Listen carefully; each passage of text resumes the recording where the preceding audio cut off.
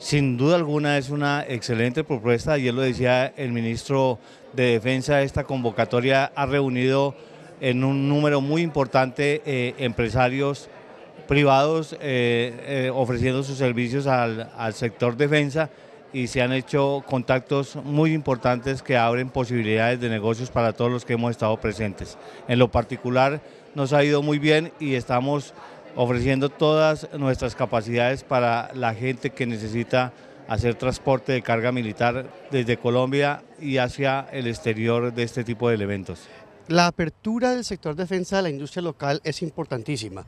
Somos un país altamente dependiente de las importaciones y creo que sustituir, así sea un pequeño porcentaje de estas, puede generar un impacto muy grande en la economía. Los drones ya están presentes en muchos aspectos del país. La industria local está creciendo, hay desarrolladores locales. Lo importante es que los drones permiten hacer una cantidad de cosas que hoy por costos o por limitaciones de operación no se pueden hacer.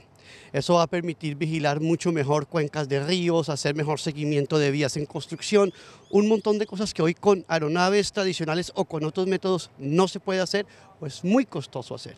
El impacto de eso es mejor seguimiento, mejores proyectos, mejores ejecuciones de proyectos y creo que eso va a hacer que la industria crezca y de, lo haga de una manera muy importante.